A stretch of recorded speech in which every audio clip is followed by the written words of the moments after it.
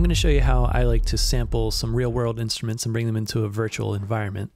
Got this souvenir kalimba made out of a coconut, and I thought it'd be fun to play with. So I'm using a program called SampleRobot, and it's made to help automate the sampling process for a lot of different things. So let's start the project here. We're going to do semi-automatic here because we're doing a real instrument, not a MIDI instrument. Give it a name, give it a path, and then choose my audio input. Next will be format. I'm doing CD quality.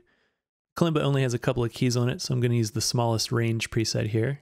Then I want to sample two velocity layers. So one kind of soft and one louder.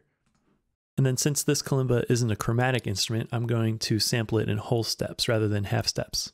For note length, I want to do at least five seconds so I can get the tail end of the sound. And this is more of a percussive instrument, so I'm not going to loop the sample at all. So this window comes up and it will walk you through the recording.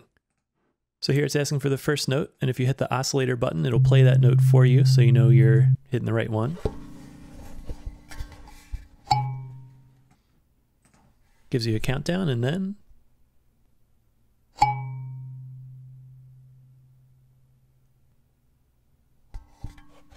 Then I'll check it. Sounds good. Move on to the next one. Now for the next note, I needed to retune it a bit. So I pull out the screwdriver and uh, do it manually.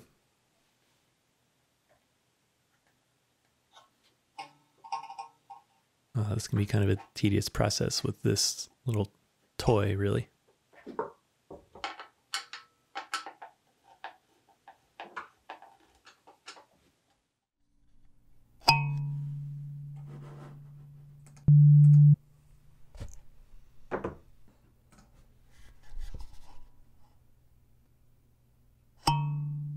Then I want to hold it until the tail is completely died off.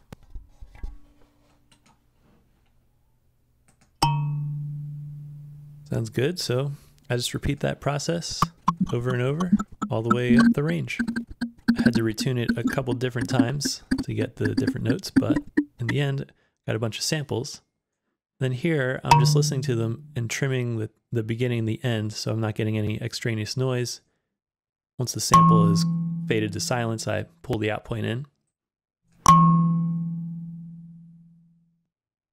And I'll do that for every sample.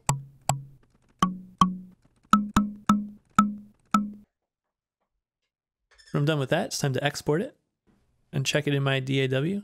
So I'm going to export this as a sound font, which is a pretty common format. I'm going to check my settings here. And I'll open up FL Studio. Add a sampler track. Then I'll go find the sound font we just made. Loads right up. Give it a whirl.